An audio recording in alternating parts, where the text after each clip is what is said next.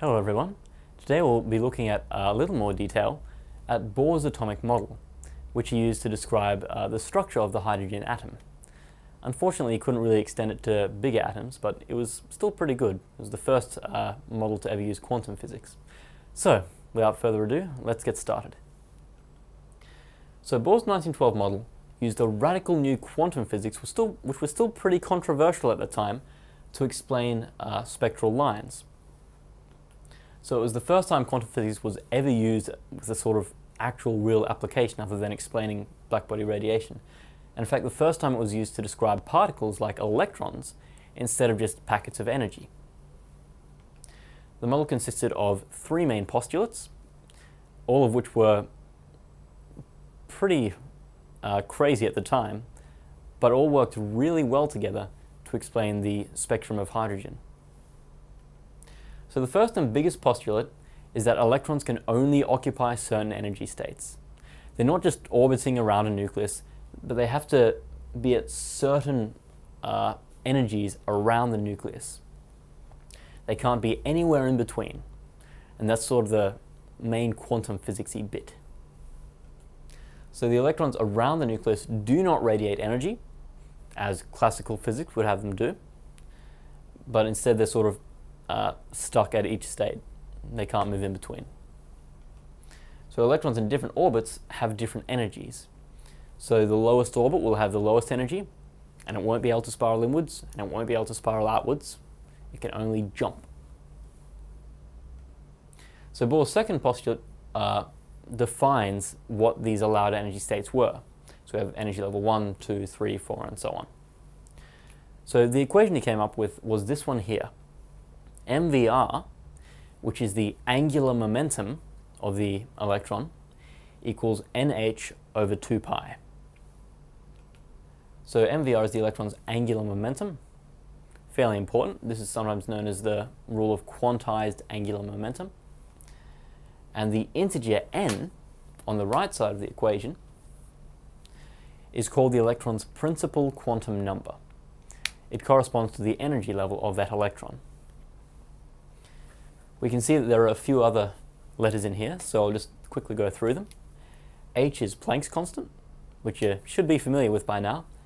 Uh, pi is the circle number, you know, 3.14-ish. And so this means that the energy level, sorry, the, the quantum number of the bottom energy level is 1. And so the angular momentum here will be given by this expression. So this will be h over 2 pi. This will be 2h over 2 pi, and so on and so forth. Now at first the units might look a little odd here, because you think, hang on, integers and constants like pi don't have units, but Planck's constant is in joule seconds. How does that work when angular momentum is given by this equation, which is kilograms meters per second uh, times meters? Well, it turns out that one joule is the same as one kilogram meter squared per second squared. And so if we multiply this by another second, then it'll match up exactly uh, with this expression here. So that means that although they at first look different, the units on both sides are equivalent, which is pretty important when we are making a new physical law. So Bohr's third postulate, we're still on the postulates, explains the spectral lines of atoms.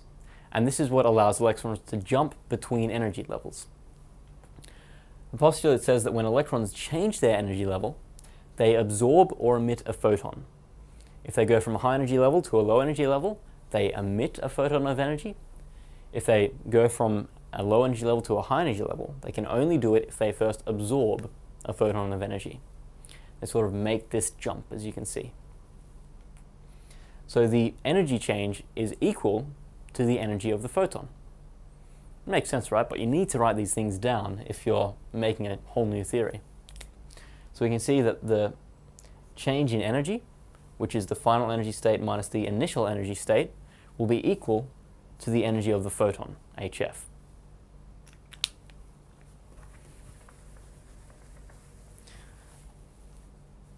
So this was the first model that could successfully describe uh, the spectral lines of hydrogen, which is pretty good because up until that point they were a little bit of a mystery.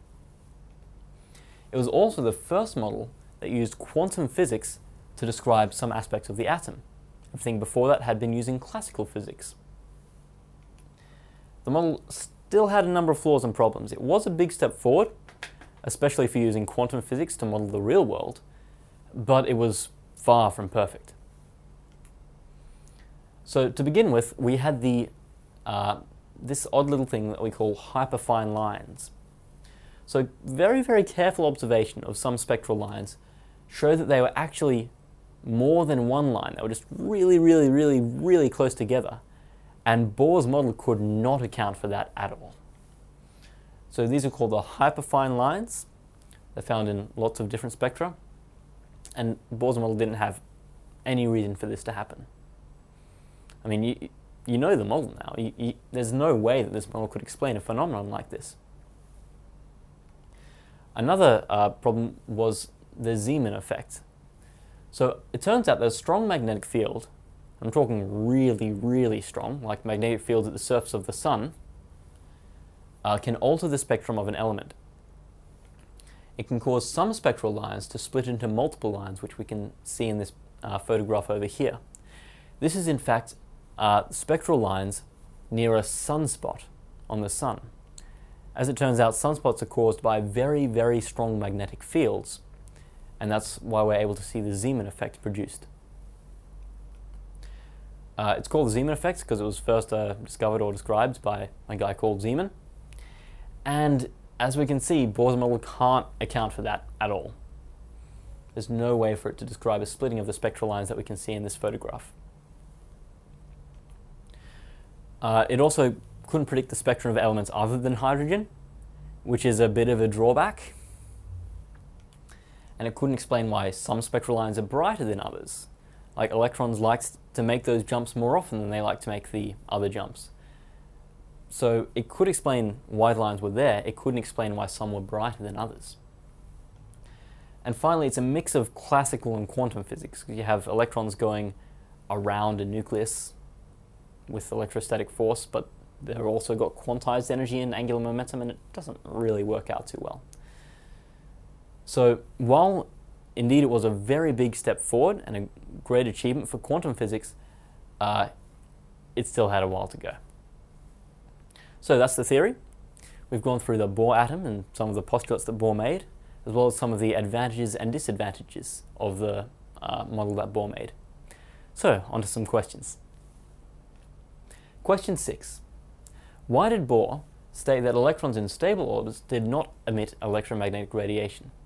Because uh, we know from our classical physics, of course, that accelerating charges do emit radiation. So we have a few options here. Uh, because it didn't fit in with the idea of quanta, because the orbits were assumed to be circular, because normal atoms did not emit electromagnetic radiation, or because energy was emitted when the electrons changed energy levels. Now it turns out all of these, except for one, rely on an assumption. So Bohr started with observations, not assumptions, and he built an empirical model. An empirical model is a model that describes something about the world without having a good understanding of exactly what's happening, without having a good theoretical understanding. So it, it was able to successfully explain the uh, spectral lines of hydrogen, but Bohr didn't know why. So we can't say it didn't fit in with the idea of quanta because he was using quanta to try and explain this effect. We can't say it's because the orbits were assumed to be circular because we're not assuming anything. We're trying to just explain the spectral lines. We can't say because energy was emitted with electrons changed energy levels because that's a, a consequence of the model and not a reason for it. In fact, the only correct answer here is C. Normal atoms do not emit electromagnetic radiation. Bohr noticed, of course, that atoms don't do that. And so he assumed that for some reason, didn't know why, the electrons were not emitting any electromagnetic radiation. Question 7. What weakness did the Rutherford and Bohr models both have? Remember that the Rutherford model has uh, a number of electrons orbiting a nucleus, a little bit like a solar system. So we have a few options here. Let's start at the bottom and work our way to the top. D. Neither could explain how quanta apply to the model. Now it's true that Rutherford's model couldn't do this, it was completely classical, but Bohr's model did use quanta to explain the different energy levels of the electrons, so it's not D. How about C? Neither could explain atomic spectra. Well, once again, Rutherford's model couldn't do that, but Bohr's could. B. They both only worked for hydrogen. Now, this is one of the big shortcomings of Bohr's model. It couldn't explain heavier atoms. But Rutherford's model uh, could explain any sort of atom. It's just a big heavy nucleus in the middle with electrons going around the outside. And in fact, he came up with this model uh, after he was bombarding gold atoms and he noticed that the nucleus was doing something odd. So in fact, Rutherford's model works for uh, all the elements, but Bohr's does not. B is not the correct answer though, because it works for Rutherford's model. Our last option then is A, neither could account for stable electron orbits. And in fact, this is the correct answer. Both Rutherford and Bohr knew that the electron orbits had to be stable somehow, but they couldn't explain exactly why that was. Question 8. What is an emission spectrum? Now, an emission spectrum is uh, colorful lines on a black background, right? So how do we get that from Bohr's model? Well, an element's emission spectrum is a unique collection of wavelengths uh, emitted by excited atoms of that element. We excite the atoms, they glow. That's how we get fluorescent lighting. So how does Bohr's atomic model account for emission spectra? And here's the important question. So the answer here has to do with the energy levels of the electrons. Bohr's model states that the electrons of an atom emit photons when they move between energy levels. So electrons of each element uh, are only stable at certain energy levels, and this is why they can only emit certain photons, because they go from one certain energy level to a different certain energy level. Question 9. What is the Zeeman effect? So I'll let you think for a moment. Uh, the correct answer is that uh, it's the splitting of spectral lines under a magnetic field. So under a very, very powerful magnetic field, uh, the spectral lines of elements like hydrogen will in fact split into more than one line. Alright, so part B, how does Bohr's atomic model account for this effect? So I'll give you a moment to think about that. And the answer is, it cannot. Bohr's atomic model has no way at all to account for the splitting of the spectral lines. It's a very unusual effect, and of course it's what led Bohr's model to be improved upon later on. Finally, question 10. It's a bit of a long one. In Bohr's model of the atom, the angular momentum of electrons is quantized according to this equation. What are the three lowest possible values for an electron's angular momentum? So remember, the angular momentum of the electron is this thing over here.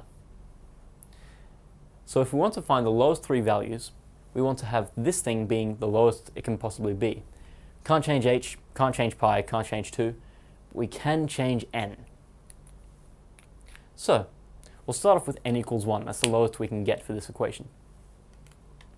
So, at n equals 1, the angular momentum equals nh over 2 pi.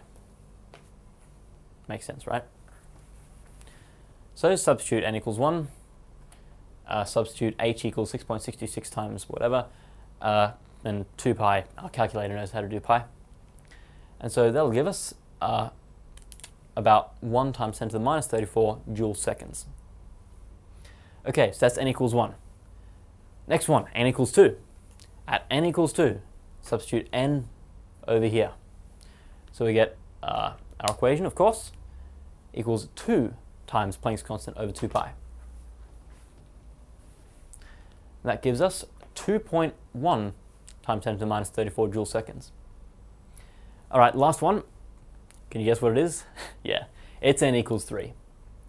So, uh, with our equation as before, we now take the 3, stick it into the n, and we end up with 3 times Planck's constant over 2 pi.